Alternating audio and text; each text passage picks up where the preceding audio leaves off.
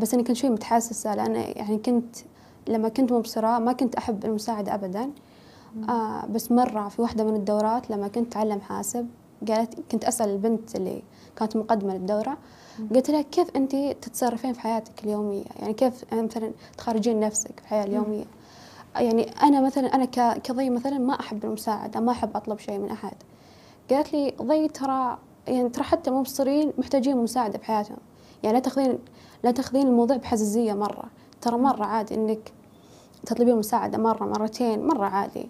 فصراحة كلمتها هذه استوقفتني لأنه فعلا يعني حتى المبصرين بحاجة مساعدة.